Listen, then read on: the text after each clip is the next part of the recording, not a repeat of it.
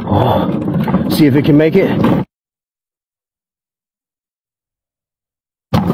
Woo! Big boy commuter made it off the jump. Dual suspensions. Let's go. Rear wheel drive is actually better for off-roading in my opinion. It's just better traction. You don't lose your front traction like you do if you have front wheel drive dual motors on. Makes the front wheel very slippery and all kinds of stuff like this. So, but we can go nice and easy on this one. Oh yeah. It right there.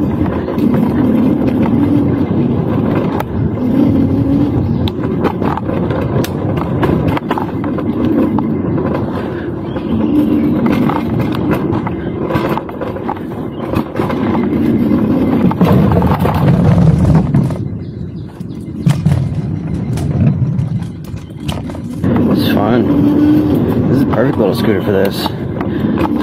Like a lot, a lot of these little trails like this, you bring a dual motor hyper scooter is just overkill times two, and so this is like the perfect little thing to scoot through these. You won't get flats. Solid tires. You got decent traction. Not gonna lie, it's good traction. Good enough traction that I can ride this little trail like this pretty quickly. I mean, you see we're moving 10, 15, 20 miles an hour sometimes over here and do this.